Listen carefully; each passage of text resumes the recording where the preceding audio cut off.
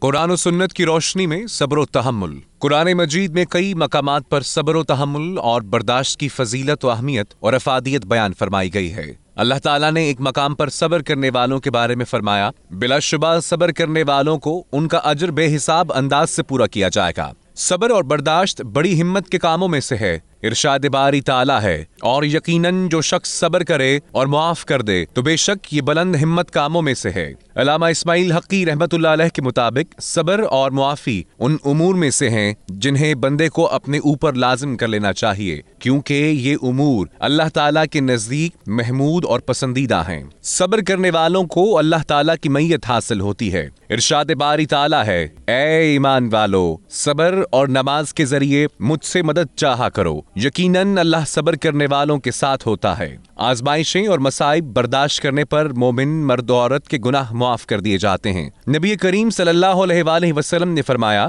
مومن مرد اور مومن عورت پر جان، مال اور اولاد کی مصیبتیں نازل ہوتی رہتی ہیں۔ یہاں تک کہ جب وہ اللہ کے حضور پیش ہوگا تو اس کے نام اعمال میں کوئی گناہ نہیں ہوگا۔ صبر سے بہتر کوئی شے نہیں ہے۔ نبی اکرم صلی اللہ علیہ وآلہ وسلم نے ارشاد فرمایا، جو استغنا سے کام لیتا ہے، اللہ تعالیٰ اس کو غنی کر دیتا ہے، اور جو صبر کرتا ہے، اللہ تعالیٰ اسے صبر کی دولت عطا فرماتا ہے۔ صبر سے بہتر کسی شخص کو کوئی شے نہیں عطا کی گئی۔ حضرت عبداللہ بن عمر رضی اللہ تعالیٰ عنہ فرماتے ہیں کہ رسول اللہ صلی اللہ علیہ وآلہ وسلم نے فرمایا، جو مومن لوگوں سے میل جول رکھے اور ان کی طرف پیش آنے والی تکالیف پر صبر کرے، تو اسے زیادہ ثواب ہوتا ہے۔ اس مومن کی بنسبت، جو جو لوگوں سے میل جول نہ رکھے اور ان کی ایزا رسانی پر صبر نہ کرے۔ لہٰذا پرسکون اور کامیاب زندگی کے لیے صبر و تحمل اور قوت برداشت بنیادی عنصر ہے۔